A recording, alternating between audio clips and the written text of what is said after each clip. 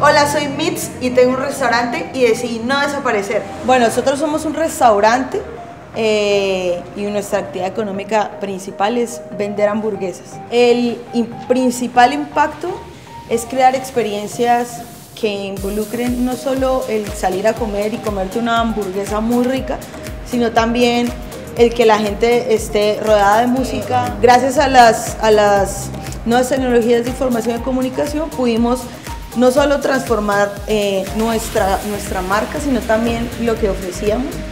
Y entendimos que esto nos permitía no solo ofrecer hamburguesas, sino ofrecerle a la gente experiencias.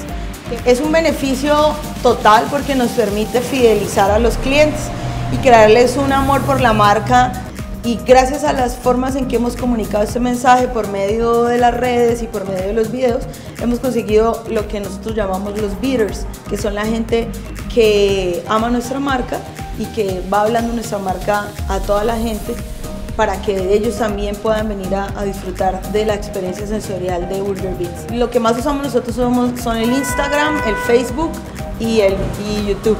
Entonces creo que siempre vamos innovando y vemos que las, las tecnologías, eh, las nuevas tecnologías de información y comunicación tienen muchos elementos que sirven a un negocio para comunicar a la gente lo que pasa en el restaurante y que salir a comer, aparte de que eh, sea el placer de las papilas gustativas por probar nuestra hamburguesa, eh, tiene un montón de cosas alrededor como la experiencia de sentir la música acá, de sentirse un rockstar, porque esa es la idea desde que pisan Burger Beats.